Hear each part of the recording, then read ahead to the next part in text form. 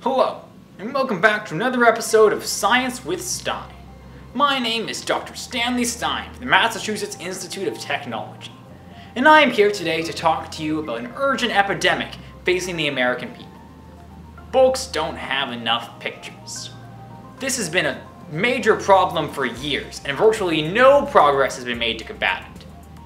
Joining me today to discuss this issue is an award-winning middle school teacher from Detroit, Michigan, Mr. George Minaz. Please welcome Mr. George Minaz to the show. Welcome to the show, Mr. Minaz. Glad to be here. I'm excited to talk about this issue and how it's been affecting people all over the world. It truly needs to be stopped.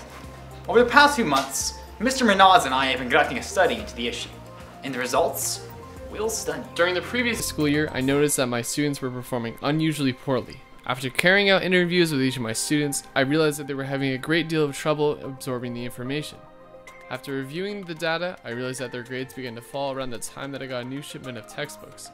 Therefore, it could be assumed my students were unable to digest the information in the textbooks. I took a closer look at the textbooks and made a shocking realization. These books contain almost no pictures. Mr. Minaz contacted me regarding his problem, and our experiment began. We found the only textbook on the market that contained at least 15 pictures on each page and ordered a batch for the students. What happened next was astonishing. Within three weeks, the students' performances skyrocketed. The average test score went up by 250%.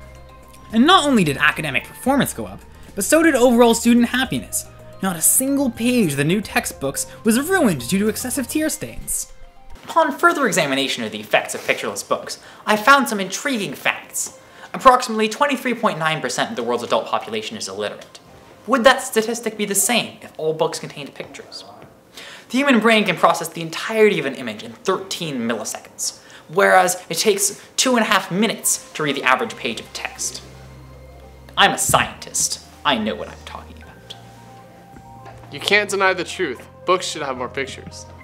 Thank you for watching this program and taking this journey with us. We hope you learned a lot and had fun doing it. Tune in next time for the effects of ukuleles on the human brain. And remember, if you're not part of the solution, you're part of the precipitant. Bye-bye. This message has been approved by Scientists for a Better America. We do science. Do you?